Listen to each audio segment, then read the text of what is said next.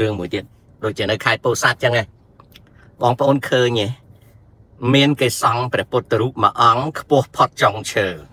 នៅពោធិ៍សាត់ចឹងឯងបើបើមិនមែនពោធិ៍សាត់ទេជួយកែខ្ញុំព្រោះខ្ញុំឃើញខ្ញុំមិនបានមើលទីតាំងទេណាអញ្ចឹងបងប្អូនជួយកែខ្ញុំគេសង់ព្រះពុទ្ធរូបមានកម្ពស់ខ្ពស់ជាងចុងឈើបើយើងឈរនៅវាលស្រែអីយើងអាចមើលឃើញព្រះពុទ្ធរូបហ្នឹង ខ្ញុំសូមជម្រាបបងប្អូនទោះបីតែស្រុកយើងទៅនឹងអភិវឌ្ឍក៏ដោយណាទោះដីស្រុកយើងទៅនឹងអភិវឌ្ឍក៏ដោយអឺជាងស្អាងព្រះពុទ្ធរូបយ៉ាងហោចណាស់ក៏ក្រសួងវប្បធម៌បាទអរគុណវុធីយ៉ាងហោចណាស់ក៏ក្រសួងវប្បធម៌ខំប្រឹងបន្តការណែនាំណាខំប្រឹងបន្តការណែនាំ ឲ្យអ្នកស្អាងព្រះតូចធំទាំងឡាយដែលមិនមែនស្អាងព្រះលក់មានន័យថាអ្នកហ្នឹងមិនមែនជាអ្នកស្អាងព្រះពុទ្ធរូបសម្រាប់ដាក់លក់ជាពាណិជ្ជកម្មទេត្រូវណែនាំតាមវត្តអារាមណាណាណាខ្ញុំថ្ងៃនេះអត់ទៅ Home Depot ឯងកូនមកពេទ្យមកពេទ្យព្រោះ project bathroom ខ្ញុំទៅមកហើយហើយអញ្ចឹងមិញណា next week ហ្នឹង the coming Saturday ហ្នឹង project មួយទៀតគឺ wrap corner house យកដែកដាក់ម៉ាស៊ីនស្រោប corner house ណា it's I spend a couple thousand dollar អញ្ចឹងប្រចាំអាទិត្យហ្នឹងគឺមួយអាទិត្យប្រហែលជិត4000មួយអាទិត្យ4000មួយអាទិត្យ4000អាទិត្យកន្លងទៅជាង6000 6000ដុល្លារ the coming week probably 3 3500 to 4000 dollar នៅក្រសួងវប្បធម៌គួរណាស់តែបន្តការណែនាំទៅដល់វត្តទាំងអស់នៅក្នុងក្រសួងធម្មការសំទោសក្រសួងធម្មការវាទៅជាក្រសួងក្រសួងធម្មការនិងក្រសួងវប្បធម៌រួមគ្នាជូនដំណឹងទៅកាន់វត្តទាំងអស់នៅក្នុងប្រជាណាចក្រកម្ពុជា បើសិនណាជាមានការស្អាងព្រះពុទ្ធរូបដែលមិនលក់ដូរណា the construction of Buddha statue uh, without commercial purpose with no commercial purpose មានន័យថាការស្អាងព្រះពុទ្ធរូបសម្រាប់តម្កល់នៅទីណាសក្ការៈបូជាតែមិនលក់ដូរពាណិជ្ជកម្មទេក្រសួងត្រូវណែនាំថាបើកម្ពស់ ព្រះពុទ្ធរូបនឹងឧទាហរណ៍ថាកម្ពស់លើសពី5ដេស៊ីម៉ែត្រកន្លះម៉ែត្របើលើសពីកន្លះម៉ែត្រសុំឲ្យយកតាមក្បួនຂ្នាតរបស់ក្រសួងក្រសួងណា ដែលសម្រាប់ក្បួនຂ្នាតហ្នឹងគឺណែនាំឲ្យវត្តអារាមទាំងអស់នៅក្នុងប្រជាណាចក្រកម្ពុជាឲ្យយល់ដឹងថា ព្រះពុទ្ធរូបដែលស្អាងលើសពីពីព្រះភ្នែនរហូតដល់ព្រះកេសាចុងបំផុតនៃមេគានៃនៃនៃភ្នួងសក់ហ្នឹងគឺបើកម្ពស់លើស5ដេស៊ីម៉ែត្រឧបមាណាទេណាបើលើសកម្ពស់5ដេស៊ីម៉ែត្រសូមឲ្យយកតាមរូបនេះហើយរូបហ្នឹងក៏យើងគូគំរូឲ្យមានពីមុខពីចំហៀងពីក្រោយហើយ និងមេត្រឋានមេត្រឋានមេត្រឋានថាបើកម្ពស់លើស5ដេស៊ីម៉ែត្រភ្នែន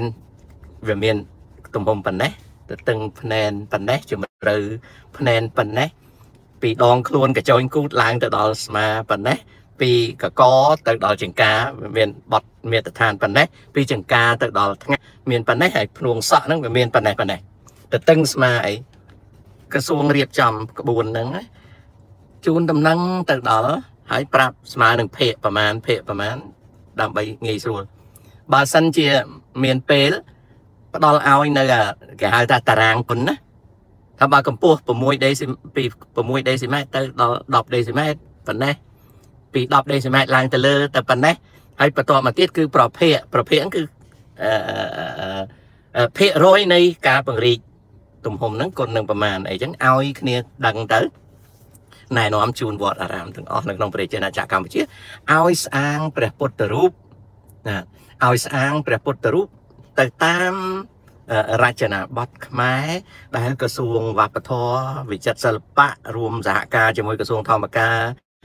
និងនគររូបនីយកម្មព្រមព្រៀងឬក៏យ៉ាងម៉េចយ៉ាងម៉េចទៅតាមច្បាប់ទម្លាប់ឋានានុក្រមនៃនៃទីស្តីការ ក៏ធ្វើអាហ្នឹងណែនាំតាមវត្តហ្នឹងមួយគេហៅថា the construction of Buddha statue without commercial commercial purpose គឺការស្អាងព្រះពុទ្ធរូបមិនសម្រាប់លក់ដូរទេ គឺវត្តនឹងអាចយកជាងណាមកស្អាងក៏ដោយក៏ត្រូវតែដូចអញ្ចឹងក៏ត្រូវតែដូចអញ្ចឹងក៏ត្រូវតែត្រូវຂ្នាតផ្ទុយទៅវិញបើមិនត្រូវຂ្នាតទេព្រះពុទ្ធរូបដែលបានស្អាងរួចហើយណាអាចកែបានកែ មានន័យថាអាចអាចកែបានកែបើអភិសេកដាក់លើបលាំងព្រះហើយអត់បាច់កែទេប៉ុន្តែឲ្យដឹងសាវតាជាសារពើពន់សារពើភ័ណ្ឌនៅក្នុងវត្តហ្នឹងថានេះសាលាឆាន់មាន3 4អង្គអត់ត្រូវຂະຫນាតទេណាហើយពហិមានប្រមាណអង្គអត់ត្រូវຂະຫນាតទេរបស់តែរំកល់នឹងឲ្យមានសារពើភ័ណ្ឌបញ្ជាក់ដើម្បីកុំឲ្យខុសទៀតនឹងមួយ មួយទៀតគឺព្រះពុទ្ធរូបបុរាណព្រះពុទ្ធរូបបុរាណចង់ប្រភ័ក្រយ៉ាងម៉េចចង់ព្រះកេសាយ៉ាងម៉េចណាដល់ប៉ាពងចាំខ្ញុំទៅខ្ញុំទៅចូលដុកទ័របន្តិចទៀតហ្នឹងណា is 45 minute ហ្នឹងទៅទៅជួបដុកទ័រលាងម៉ាស៊ីនម៉ាស៊ីនក្នុងលើដើមទ្រូងនេះទៅ flash ណាអរព្រះពុទ្ធរូបដែលស្អាង ហើយឧបស័យហើយឬក៏ជាប្រពុតរូបបុរាណប្រភពយ៉ាងម៉េចរូបរាងយ៉ាងម៉េចຂ្នាតយ៉ាងម៉េចខុសឬត្រូវនឹងនឹងមេត្រដ្ឋាន ដែលក្រសួងនឹងអត់មានបញ្ហាទេប៉ុន្តែសូមឲ្យបន្តធ្វើសារពើភ័ណ្ឌសារពើភ័ណ្ឌគឺ inventory គាត់ទុកឲ្យដឹងដើម្បីបង្កើតនៅសាវតាណែនាំទៅវត្តក៏វត្តអញ្ចឹងអូខេបន្ទាប់មកទៀត the buddha statue for commercial commercial purpose មានន័យថាការអ្នកដែលស្អាងព្រះពុទ្ធរូបសម្រាប់លក់ដូរណាអ្នកណាអ្នកស្អាងព្រះពុទ្ធរូបសម្រាប់លក់ដូរមានន័យថាគេស្អាងដាក់លក់ណាកាលណាបុគ្គលណាមួយប្រកបអាជីវកម្មស្អាងព្រះពុទ្ធរូបសម្រាប់លក់មានចែកដីមានរៀនទេវតាមានព្រះពុទ្ធ រូបមានបដិមាដតីគឺខេតដែលចាញ់សេចក្តីអនុញ្ញាតឲ្យណាគឺខេតដែលចាញ់សេចក្តីអនុញ្ញាតឲ្យឬក៏ក្រសួងនយោបាយកថាណាដែលចាញ់បានអនុញ្ញាតធ្វើអាជីវកម្មណាច្បាស់ជាដឹងហើយច្បាស់ជាដឹងហើយថាគេធ្វើអាជីវកម្មអីព្រោះទៅសុំច្បាប់អាជីវកម្ម សុំច្បាប់បើកមុខរបរប្រាប់គេថាលក់អីធ្វើអីណាណាលក់ចាប់ហួយសេវាកម្មលក់ប្រេងឥន្ធនៈត្រូវប្រាប់គេណាដើម្បីគេរៀបតាក់នោះរៀបបតង់រៀបពន្ធដារនោះអញ្ចឹងបើសិនណាជាធ្វើអាជីវកម្មស្អាងព្រះពុទ្ធរូបណាអរគុណអរគុណអរគុណកំសាន្តមើលមិនសូវឃើញទេកូនអរគុណ អ្នកណាស្អាងព្រះពុទ្ធរូបលក់គេហៅថា Bill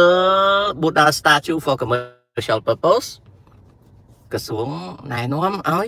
ប្រើច្បាប់អញ្ចឹងប្រើមេត្រដ្ឋានអញ្ចឹងគឺស្អាងអត់ឲ្យខុសពីមេត្រដ្ឋានអញ្ចឹងទេបញ្ជាក់នេះបើស្អាងព្រះមានអឺអឺព្រះពុទ្ធរូបអឺ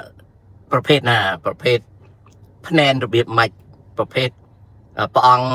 ត្រាស់ដឹងព្រះអង្គប្រោសសัตว์ព្រះអង្គធ្វើទុក្កទុក្ករកិរិយាព្រះអង្គទ្រង់ឈរព្រះអង្គទ្រង់ផ្ទុំណាគឺផ្ដល់ Good morning ប៉េរីហ្វឿងតៃកណ្ដែលមើលមិនឃើញទាំងអស់ទេអឺគឺផ្ដល់គំរូហ្នឹងប្រាប់ថាចូលទៅ website ព្រិនចេញឲ្យអស់បើ អាជីវកររកស៊ីស្អាងព្រះពុទ្ធរូបណា នៅពេលឆែកឆេឯកសារគ្មានប្លង់សម្រាប់ស្អាងព្រះទេ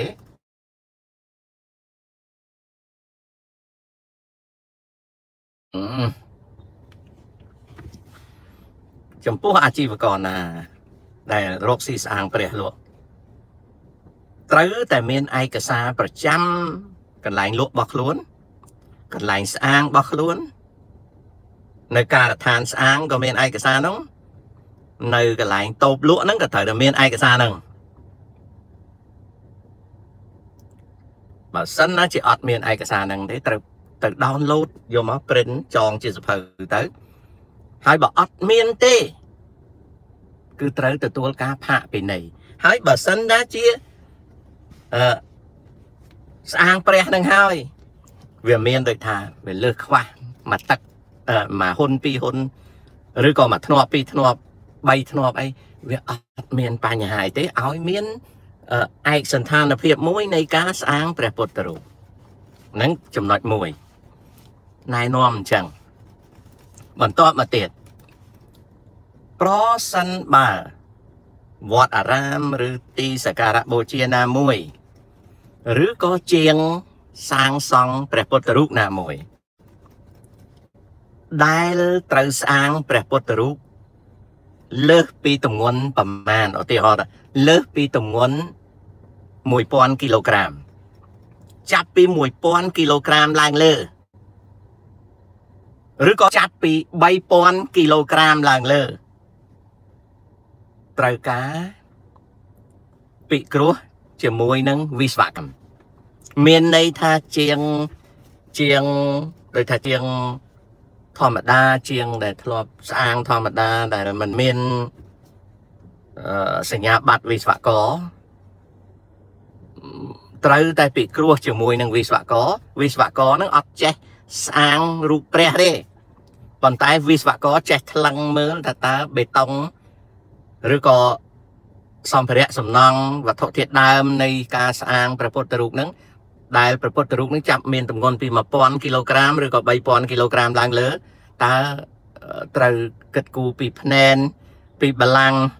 ពីទីតាំងពីអាគារដែលត្រនឹងយ៉ាងម៉េចឲ្យមានយោបល់ចេញពីវិស្វកម្មមក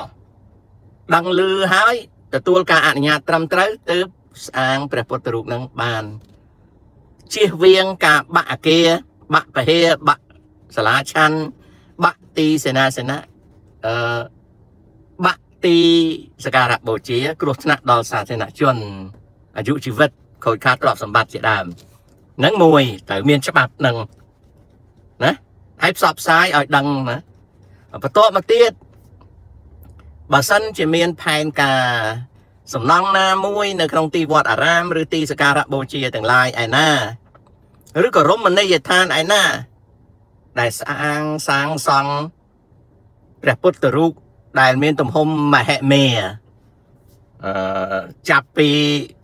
ប្រហែល5តោនឡើងទៅទម្ងន់5តោនឡើងលើត្រូវស្អាងដោយមានវិស្វករនៅជាប់ជាមួយរហូតរហូតដល់ចប់សំណង់ទទួលវិស្វករនឹងទទួលត្រួតពិនិត្យរហូតហើយ ត្រូវអ្នកដែលស្អាងសាងសង់នឹងមុននឹងស្អាងសាងសង់ព្រះពុទ្ធរូបដែលចាប់ពី1000គីឡូក្រាមឡើងទៅលើណាណាអូយ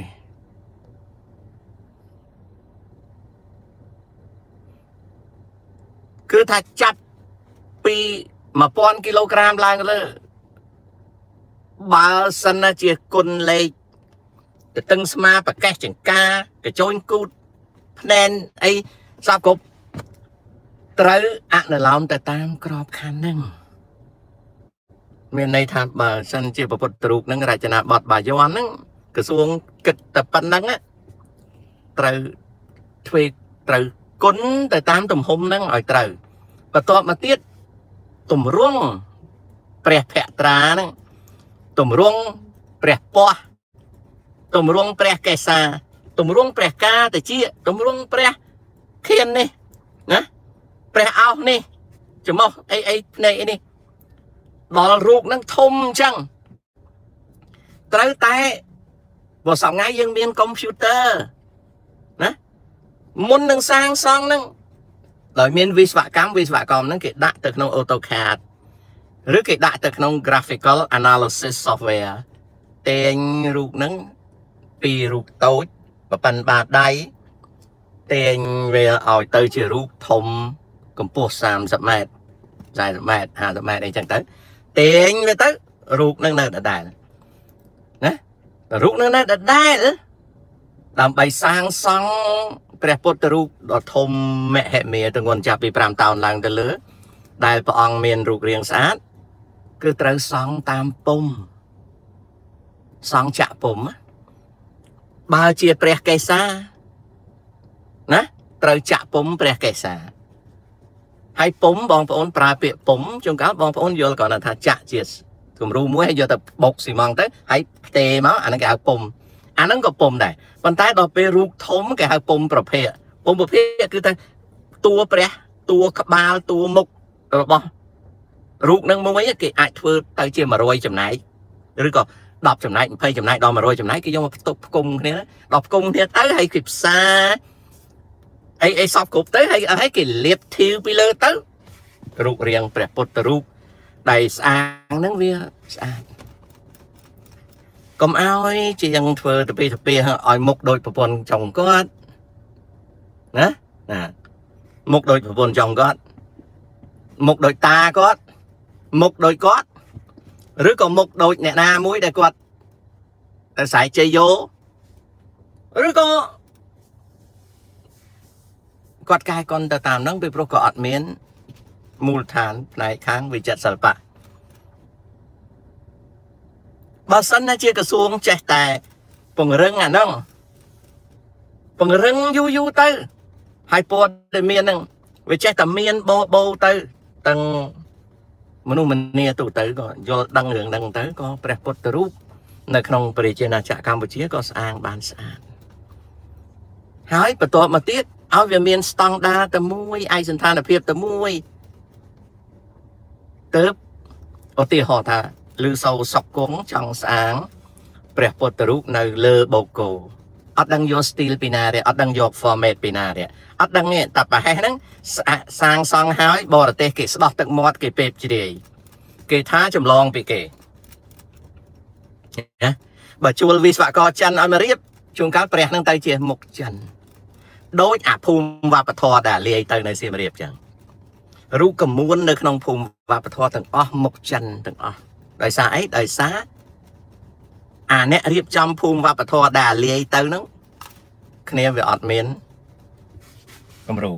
អញ្ចឹងទូទាំងប្រជាណាចក្រកម្ពុជារៀបពង្រឹងផ្សព្វផ្សាយណែនាំទៅវាទៅរួចហើយ ខ្មែរយើងមិនមែនថាទៅមិនរួចទេយើងមិនមែនថាទៅមិនរួចទេ បងប្អូននៅលឺខ្ញុំទេបងប្អូននៅលឺខ្ញុំទេអាឡាមខ្ញុំនេះវាចេះតែ បងប្អូនលឺជួយប្រាប់ផងបាទបងប្អូននៅលឺជួយប្រាប់ខ្ញុំផងអញ្ចឹងងាកទៅរឿងព្រះពុទ្ធរូបនៅពោធិ៍សាត់ហ្នឹងណាបាទងាកទៅទៅលើព្រះពុទ្ធរូបខេត្តពោធិ៍សាត់ហ្នឹង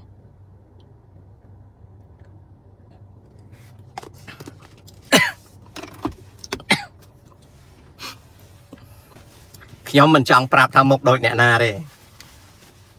ខ្ញុំកាន់តែឃើញរូបហ្នឹងខ្ញុំដឹងថាមុខដូចអ្នកណាណាបងប្អូននៅលឺសោខ្ញុំទេ Yes អូខេអរគុណរូបពពុទ្ធរូបនៅខេត្តពោធិ៍សាត់ហ្នឹងខ្ញុំមើលទៅឃើញរូបមុខដូចអ្នកណាប៉ុន្តែខ្ញុំមិននិយាយទេណាខ្ញុំគ្រាន់តែនិយាយថាវាអត់មានដូចព្រះសម្មាសម្ពុទ្ធទេព្រះសម្មាសម្ពុទ្ធនេះសពថ្ងៃព្រះពុទ្ធរូបព្រះភ័ក្ត្ររបស់ព្រះពុទ្ធរូបនៅប្រទេសកម្ពុជា ចាប់ផ្ដើមដូចស្មាតោខ្ញុំនិយាយឲ្យក្រក់ស្ដាប់ពុទ្ធរូបខ្លះមុខដូចសំផឹងស្វាយបាក់ពុទ្ធរូបខ្លះដូចយាយលក់នំបញ្ចុកពុទ្ធរូបខ្លះទៀតដូចស្រីបោយដៃណាពុទ្ធរូបខ្លះខ្ទើយណាពុទ្ធរូបខ្លះខ្ទើយអូខេពុទ្ធរូបខ្លះមុខហើមដូចគេវាយអញ្ចឹងសប្តាហ៍ថ្ងៃនេះណាពុទ្ធរូបដែលមានព្រះភក្ត្រាសំរុំល្អហ្នឹង មានប្រហែល20% 80%គឺខ្ទេចខ្ទីអស់ហើយពុទ្ធរូបអញ្ចឹងទាល់តែយើងណែនាំណាទាល់តែយើងណែនាំយើងកុំអស់សង្ឃឹមប្រទេសជាតិជាតិខ្មែរយើងមានអរិយធម៌2000ឆ្នាំ តែយើងត្រូវខំកែមិនមែនខំឲ្យអាលាយទេអញ្ចឹងព្រះពុទ្ធរូបដែលស្អាងហើយនៅកំពូលសាទហ្នឹងទី1អត់មានច្បាប់ទេ ទី2អាណាឲ្យច្បាប់សាងសង់ពុទ្ធរូបហ្នឹងអានោះមនុស្សអន់ជាទីបំផុតអានឹងខួនដែងបងប្អូនយល់ពាក្យខួនដែងមានន័យថាម៉េចទេណាខួវាស្អុយខួវាអាលួយខួវាសិតតែខ្ទុះអញ្ចឹងពុទ្ធបរិស័ទភិក្ខុសាមណេរវត្តទីតាំងនឹងយកលុយចោលទៅទេ ពពុទ្ធរូបនឹងគួរវាយចោលទៅសពថ្ងៃនេះក្រាន់តែពួកថៃវាសើចចំអកឲ្យណាគួរឲ្យខ្មាស់ណាមិនមែនរូបនឹងទេរូបនៅឯកភ្នំរូបខ្លះនៅបូកគោរូបច្រើនណាស់ដែលមិនជាបាលទេ អាណិតណាស់ដែលខ្មែរយើងទៅថតជាមួយហើយចេះតែសបាយមិនមែនប្រទេសគេខ្វះរូបអាក្រក់ទេប្រទេសគេក៏មានរូបអាក្រក់ដែរប៉ុន្តែអាហ្នឹងគេហៅថាស្ថាបត្យកម្មជនបទដែលវាកើតឡើង តែប្រទេសយើងមិនគួរណាបន្តនៅទម្លាប់ដែលយើងស្អាងអ្វីមួយ ឲ្យគេសើចចំអកឲ្យណាណាឲ្យគេមើងងាយមើលថោកថែមទាំងខ្លួនឯងបាត់បង់នៅគុណសម្បត្តិវិចិត្រសិល្បៈវប្បធម៌របស់យើងទេអានោះខ្ញុំក៏បញ្ចេញយោបល់ប៉ុណ្ណឹងឥឡូវនិយាយអំពី គេសុំធ្វើសម្ភារមន្ត្រីវប្បធម៌ចឹងហើយវប្បធម៌ អាមន្ត្រីវប្បធម៌នឹងវានិយាយថាម៉េចជំរាបសួរឯកដាំសុំសួរពីរឿងព្រះពុទ្ធរូបដែលនៅអឺពោធិ៍សាត់ហ្នឹងពុទ្ធអាយដំជ្រាបទេខ្ញុំលឺដែរអាយដំមានយោបល់យ៉ាងម៉េចអូមិនតន់ទេឥឡូវនេះកំពុងតែរងចាំរបាយការណ៍ មិនទាន់សម្រេចថាម៉េចទេចាំរបាយការណ៍មួយមកអាភ្លើមិនដឹងជាអាបកាច់ណាទេនៅក្រសួងវប្បធម៌ហ្នឹងដែលគេសម្ភាសថ្ងៃប្រហែលថ្ងៃនេះគិតដូចមកអាភ្លើហើយចុះហែងភ្លើទេហែងមិនឃើញទេហែងណាមនុស្សជុំវិញពិភពលោកខ្មែរណាក៏ឃើញរូបពុទ្ធរូបនឹងដែរដូចមកអាភ្លើឯងចាំរបាយការណ៍ម៉ែឯងអីទៀតមិនក៏អាបកាច់ឯងមិនព្រមឡើងឡានឬក៏ឯងមានអេលីកូបទ័រខ្លួនឯងឯងទៅ អើតបន្តិចតាឯងចាំរបាយការណ៍ម៉ែឯងអីទៀតកណ្ដួយមកអាចយម៉ាយយីអានេះភ្លើរបស់ឃើញនឹងភ្នែកពេញ Facebook ពេញ YouTube ពេញអស់អាលីងឯងថាចាំរបាយការណ៍ចាំរបាយការណ៍ហ្នឹងរបាយការណ៍អីទៀតណាបើសិនជាពិបាកហ្នឹងឯងក៏មិនក៏មិនទៅឡើងឡានទៅមើលទៅ នៅពោធិ៍សាត់នោះប្រហែលម៉ោង ហើយអាឡៃតែធ្វើក្តិតអាណាបានជារវល់ប៉ុណ្ណឹងគាត់ទៅដូចពេកណាបោះឆ្នោតខែក្រោយហើយសម្ដេចហ៊ុនសែនខំចង់ងាប់ណាសម្ដេចហ៊ុនសែនអត់ដេកអត់ពួននេះខំចង់ងាប់ហើយហែងនឹងរដ្ឋមន្ត្រីឬក៏មន្ត្រីនៅក្នុងក្រសួងហ្នឹងណាហើយចុះហែងមិនទៅមើលហើយចាំរបាយការណ៍មកទៀតអូយ អានេះមិនមែនគ្រាប់លពៅធម្មតាទេអានេះលពៅស្អុយលពៅស្អុយអើយលពៅស្អុយហ្មងមិនលពៅធម្មតាទេអានេះអានេះសម្ដេចហ៊ុនសែនគាត់ថាមានអាមន្ត្រីលពៅណាអានេះលពៅស្អុយហ្មងបើហ៊ុនសែនធ្វើដូចតាហែងហ្នឹងចាំបាយការសិន សម្រាប់អីបានទេចាំបាយការសិនបើហ៊ុនសែនណាកាន់ប្រទេសកម្ពុជាណាចាំបាយការដូចអាប្រែតឯងនិយាយហ៊ុនសែនណាគ្រប់ត្រូលកម្ពុជាអត់បានទេព្រោះកម្ពុជាពិបាកណាស់កម្ពុជាប្របាក់ណាស់បានជាហ៊ុនសែននឹងខំប្រឹងហ៊ុនសែនប្រាប់ហើយឲ្យអាដែងនឹងបង្កើត Telegram ដើម្បីមានការអីឲ្យអាដែងនឹងដឹងចាំ បាយការសិនអត់ឡាយអីរួចទេមួយអើយតបាយការមកសិនស្អីបាយកាយទៀតណាក្មេងវាស្រាក់ខោបាញ់នោមនៅវាលស្រែវាឃើញមុខព្រះវាខ្វាក្តាមវាឃើញមុខព្រះណាអ្នកភួរក៏ឃើញមុខព្រះអ្នកភូមិក៏ឃើញមុខព្រះណានៅ Facebook ក៏ឃើញមុខព្រះ នៅ YouTube ក៏ឃើញមុខព្រះហ្នឹងអញនៅស្រុកអាមេរិកនេះរាប់ពាន់គីឡូពីស្រុកខ្មែរក៏ឃើញមុខព្រះហ្នឹងថៃរាប់លានអ្នកចំអកលក់លើឲ្យឃើញមុខព្រះហ្នឹងហើយចាំរបាយការណ៍ដល់ណាទៀតបើឯងចង់បានរបាយការណ៍ឯងមានក៏មិនចោះទៅហ៊ុនសែនដើរឲ្យតែត្រុកឃោសនាដើរឲ្យតែត្រុកជួបកម្មករជួបកម្មការនីទៅធ្វើនេះធ្វើនោះខំប្រឹងបោះឆ្នោត ហើយឯងចាំដល់ណាទៀតដល់របាយការណ៍ដល់ណាទៀតចោលម្រាយដូចអត់ចេះនេះប្រមាថរាជរដ្ឋអញបានប្រមាថរាជរដ្ឋាភិបាលទេនៅលើស្រុកខ្ញុំបងប្អូនអញបានប្រមាថរាជរដ្ឋាភិបាលទេដឹងទេនៅស្រុកខ្មែរកាលណាវារត់មិនរួចវាថាខ្ញុំនឹងប្រមាថលោកហ៊ុនសែនវាថាខ្ញុំនឹងប្រមាថរដ្ឋាភិបាល មិនប្រមាថរដ្ឋាភិបាលទេស្ដីឲ្យអាកញ្ជះគេ ដែលវាចេះតែសុចសុចចេះតែសុចសុចហើយនឹងពុកអលួយ ការងារវាមិនព្រមធ្វើវាមិនព្រមធ្វើបងប្អូនវាមិនព្រមធ្វើដូចរឿងស្ទឹងសង្កែបងប្អូនអាម៉ាស៊ីសុកលូហ្នឹងណាអានេះឈ្មោះវាសុកលូហ្នឹងគឺត្រូវមែន ខ្ញុំតកូលសុកដូចវាដែរអត់លូអានេះលូមែនដឹងមិនទេបងប្អូនវាថាខេតចោះទៅមើលហើយ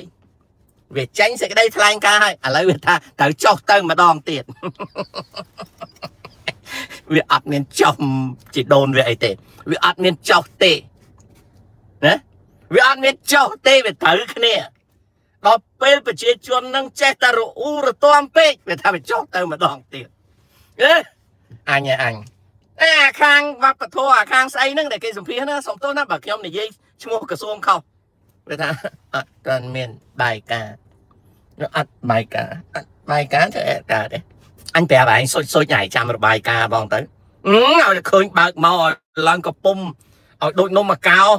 គ្មានរបាយការណ៍ទេអានោះទៅបាត់ហើយទៅបាត់ហើយទៅបាត់ហើយទៅទៅនេះបាត់ហើយណា អត់មិនជឿទេបើកមកឃើញហុយហុយអានោះគ្មានចាំរបាយការណ៍ទេទៅបាត់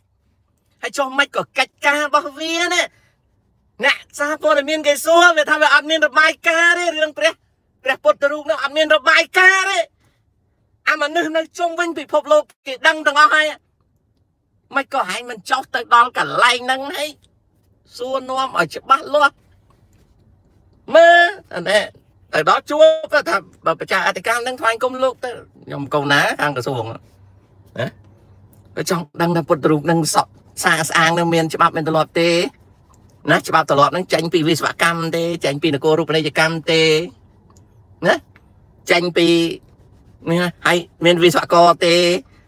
ហើយយកពុំតាមណាព្រះអង្គហើយមិនបានជាព្រះភក្ត្រាព្រះសម្មាសម្ពុទ្ធនឹងមុខដែលអាជីវយ៉ាង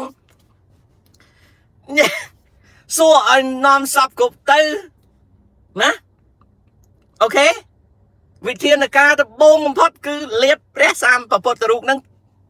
លៀបសទាំងអស់ទៅណាហើយព្រះពុទ្ធរូបធំអញ្ចឹងមានអបិសេកអីមានចាំបាច់ធ្វើពិធីអីដូច្នេះហើយត្រូវការសុំស្នើខេត្តដោយខេត្តពោធិ៍សាត់ហ្នឹងលើសូថាខំប្រឹងកសាងផងអញ្ចឹងរដ្ឋបាលខេត្តនេះជួយ លោកទៅដាក់ត្រាក់ទ័រ3 4តែមួយថ្ងៃទេណាកាយអស់ហើយអូយទុកឲ្យសៀមវាស្ដោះទឹកមាត់ដាក់ក្បាលអត់ចេះខ្មាស់គេសៀមស្ដោះទឹកមាត់ដាក់ក្បាលណាពួកថៃវាត្រូលស្ដោះទឹកមាត់ដាក់ក្បាលខ្ញុំនៅនឹង group discussion របស់ថៃខខ្ញុំនិយាយអត់អួតទេបងប្អូនបងប្អូនទៅមើល ខ្ញុំសរសេរតែប៉ុណ្្នឹងថៃលន់មាត់ណាថា you are one of the very few uh, command dialer we can talk to you មានន័យថាខ្ញុំអត់ជេរគេទេអត់ចោតគេអត់បន្ទោសគេទេអ្វីដែលខ្ញុំ interact ជាមួយពួកថៃគឺប្រើចំណេះដឹង នៅពេលហ្នឹងអ្នកចេះដឹងថៃដែលចេះអង់គ្លេស សរសេរមកខ្ញុំពួកថៃនាំគ្នាមក Facebook ខ្ញុំនាំគ្នាមើលអ្វីដែលខ្ញុំ post រហូតដល់ថៃមានម្នាក់វាចានចំអកឲ្យខ្មែរយើងឈ្មោះវាដាក់រូបប៉ុលពតវាដាក់ថាវាជាប៉ុលពតវាតែងតែចំអកឲ្យខ្មែរខ្មែរមានឆ្អឹងក៏ដូចភ្នំខ្មែរ លហេមលហាមរត់ទៅថៃខ្មែរត្រូវគេសម្លាប់ខ្មែរខ្មែរក្រហមខ្មែរបងកខ្មែរវាបង្អាប់រហូតខ្ញុំអត់ដែលថាអីវាទេខ្ញុំស្ទាបវាចុះឡើងចុះឡើងចុះឡើងឥឡូវអន់អន់ឲ្យវាឃើញខ្ញុំវាអត់សូវនេះអបន្តមកទៀតមានថៃមួយចំនួនគេប្រម៉ូតសង់ជាងមួយដូចដូណាល់ត្រុំសង់សង់ជាងមួយ ដើម្បីកុំឲ្យខ្មែរយើងដែលអត់មានច្បាប់អត់មានវីសានឹងឆ្លងទៅថៃបន្តមកទៀតគេបបួលឲ្យខ្មែរយើងដែលអត់មានច្បាប់មានទម្លាប់ទៅធ្វើការនៅថៃនឹងឲ្យចាក់ចេញពីស្រុកគេគេប្រមាថមើងងាយសពគ្រប់ខ្ញុំតែនិយាយមួយគេនិយាយសត្វតែភាសាចំណេះដឹងខ្ញុំមិនមែនតកោះបោះបោកដូចខ្ញុំនិយាយជាមួយអាមន្ត្រីក្របលពៅស្អុយទេ ណាខ្ញុំនិយាយជាមួយគេ តាំងពីគេមើលងាយមើលថោកខ្ញុំរហូតដល់ទីបំផុតពួកបញ្ញវន្តថៃចេញមក you are one of the very few command that we can talk and we can discuss issue with you because you are not uh, selling only your product but be reasonable to whatever the fact between Thai and Cambodia Thailand and Cambodia ខ្ញុំនិយាយជាមួយគេបាទវាមិនអត់ទេអ្នកមកប្រមាថការទៀនខ្ញុំខ្ញុំមិនមែនទៅគោះរឿងដែលខ្ញុំនិយាយអាខេត្តបាត់ដំបងនេះរឿងដែលខ្ញុំនិយាយអាក្រសួងដែលគេធ្វើសម្ភាសរឿងព្រះពុទ្ធរូបនៅពោធិ៍សាត់នេះវាពេកពេកពាក្យដែលថាចាំរបាយការណ៍សិនណាគឺជា ពាក្យដោះសារមួយដ៏ថោកទាបជាទីបំផុតនៅអាមេរិកក៏អញ្ចឹងដែរនៅពេលមន្ត្រីឆ្លើយថា we wait for the uh, total conclusion of the investigation អានោះគេនិយាយបាន យើងរងចាំការស៊ើបអង្កេតឲ្យច្បាស់ឲ្យចប់សពគ្រប់ទើបអាចបញ្ចេញយោបល់បាន តែអារឿងចឹងចឹងអត់មានត្រូវការការស៊ើបអង្កេតទេទេ រឿងព្រះពុទ្ធរូបដែលស្អាងមិនស្អាតហ្នឹងមិនមានបញ្ហាឧទាហរណ៍ថាវត្តនៅពោធិ៍សាត់ហ្នឹងចំណាយលុយអស់80000ថា100000ចុះស្អាងព្រះពុទ្ធរូបហ្នឹងវាខុសប្រជាជនប្រមូលចូលលុយនេះអស់100000ក៏យើងអាចបង្កើតកម្មវិធីដើម្បីអង្គាសលុយទៅស្អាងព្រះពុទ្ធរូបឲ្យល្អបានដែរសូម្បីតែសម្ដេចហ៊ុនសែនឬក៏លោកអុកញ៉ាតតី ក៏អាចជួយឧបត្ថម្ភដើម្បីស្អាងរូបថ្មីឲ្យមានមុខមាត់ចំពោះប្រទេសកម្ពុជាដែរចំពោះខេត្តពោធិ៍សាត់ដែរខេត្តដាក់20000 10000ទៅអ្នកនេះអ្នកនោះទៅចូលគ្នាទៅរឿងវាខុសហើយយើងកែដើម្បីមុខមាត់របស់ខេត្តយើងមុខមាត់របស់ប្រទេសជាតិយើងធ្វើបានតាជាជាងទុកឲ្យគេស្ដោះទឹកមាត់ដាក់ក្បាលចឹងបានថា លោកហ៊ុនសែនណាវេទនាជាងគេបំផុតគឺមានអាមន្ត្រីក្របលពៅស្អុយហ្នឹងសម្បូរណាស់អាលពៅស្អុយនៅនៅបាត់ដំបងក៏លពៅស្អុយឥឡូវនេះអាលពៅស្អុយនៅក្រសួងទៀតសម្បូរណាស់លោកអើយលោកលោកអើយលោកសម្បូរណាស់បូនណាបោះឆ្នោតខែក្រោយហើយបើគ្រាន់តែប្រពុតរូបមួយអង្គ វាអង្គុយចាំដល់ពេលបោះឆ្នោតហើយតើវាធ្វើរដ្ឋមន្ត្រីទៀតឯអត់បើវាបានធ្វើមន្ត្រីទៀតអានឹងចាំរបាយការណ៍មកទៀតខែក្រោយបោះឆ្នោតវាអត់ព្រមធ្វើការទេណាបូរ៉ានីទុំកុំតន់អា look for whom to complain to don't think about that yet disseminate idea first my the purpose of my show even sometimes you know I ខ្ញុំប្រើពាក្យអញ្ចឹងគេថាបើយើងចង់ដឹងថាដើមអំពិលឬក៏ដើមឈើមួយដែលមានផ្លែផ្លែប្រហែលណាគេអាចបេះផ្លែតែបើគេគេបេះមិនបានទេគេរន់ដើមហ្នឹងដើម្បីចង់តែផ្លែឈើវាធ្លាក់ប្រហែលពលរដ្ឋនេះយល់ចំណុចហ្នឹងឯង អ្នកខ្លះអត់យល់ចំណុចដែលខ្ញុំទៅគោះពាក្យហ្នឹងទេខ្មែរគេបង្រៀនថាអានឹងជេមែនទេអានោះគឺជា psychological ដែលត្រូវតែដឹងណាគណៈរដ្ឋាភិបាលថ្មីណាគណៈរដ្ឋាភិបាលថ្មីទៅគណៈទី7ណាត្រូវតែធ្វើម៉េចយកអាក្របលពៅស្អុយនឹងចាញ់ឲ្យបាន បើព្រោះអាក្របលពៅស្អុយវាអង្គុយចាំអញអត់ធ្វើការអីទេអញអញអញអត់ធ្វើការអីទេពពកបោះឆ្នោតហើយអញចង់ដឹងសម្ដេចតែងតាំងអញឲ្យអត់អេអាពួកអនេះខូចនេះខូចណាខូចនេះខូចបាទ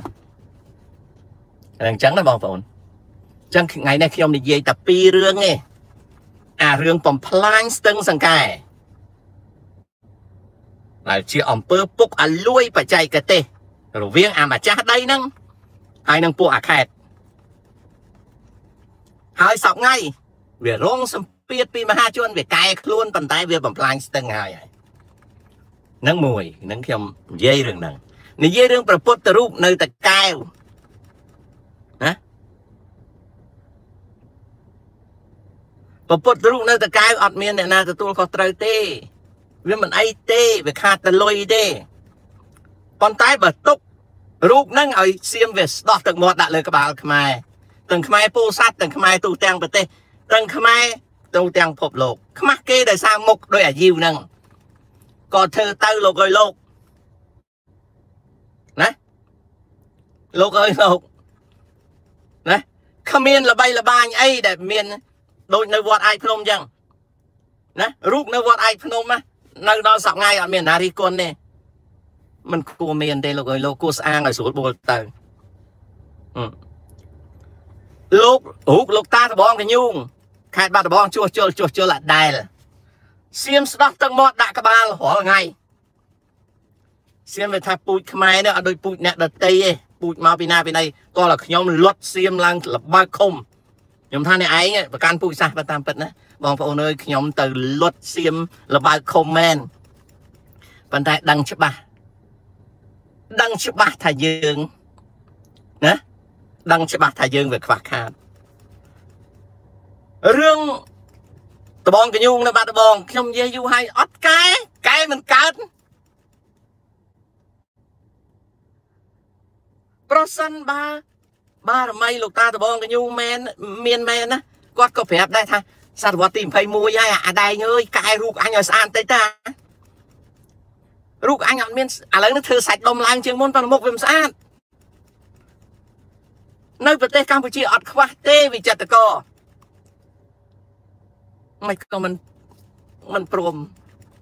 មិនព្រមយកមកស្អាងខេត្តទាំងមូលខ្ញុំសួរបងប្អូនទៅឆោត បងប្អូនសួរចិត្តខ្លួនណាបងប្អូនយល់ហើយថាលោកតានឹងតំណាងរូបនឹងតំណាងខ្មែរខ្មែរមុខអញ្ចឹងឯងបងប្អូនហើយទោះបីខ្ញុំមុខមិនស្អាតក៏ដោយក៏ខ្មែរមុខស្អាតជាងខ្ញុំដែរបងប្អូនវាមិនបានចាំបាច់មុខអញ្ចឹងណាបងប្អូនដឹងហ៎រូបនៅស្រុកថៃរូបណាមិនសូវស្អាតគេបំបត្តិចោលម្ដងមួយម្ដងមួយម្ដងមួយអស់លីងណាអញ្ចឹងបងប្អូនខ្ញុំ ដល់មកខ្ញុំសុំលេអសិនបើមិននិយាយវាមិនបែកមេកមីទេទាល់តែនិយាយខ្លះបានបែកមេកមីសពថ្ងៃអត់មានណាហ៊ាននិយាយទេ នៅក្នុងស្រុកខ្ញុំពីក្រៅផ្ញើសម្លេងទៅក៏បងប្អូន ស្ដាប់ទៅយល់ហើយសម្បូរណាស់អាមន្ត្រីក្របលពៅស្អុយណា អាមន្ត្រីក្របលពៅស្អុយសម្បូរណាស់ណាហ្នឹងអញ្ចឹងចាំខ្ញុំមកពីពេទ្យវិញសិនឥឡូវនេះខ្ញុំទៅពេទ្យខ្ញុំនៅមុខពេទ្យតាបងប្អូនបាទអញ្ចឹងខ្ញុំជម្រាបលាអឺខ្ញុំវាតឹងទ្រូងដែរបងប្អូនអើយទោះបីថាមិនទៅស្រុកវិញទៅនៅស្រុកវិញក៏ដោយក៏ស្រុកទេសមានធនធាន មានឱកាសមានសន្តិភាព មានការប្រឹងប្រែងហើយ តែមនុស្សក្របលពៅស្អុយវាច្រើនតលតែនិយាយខ្លះបាទបានសូមអរគុណសូមជម្រាបលា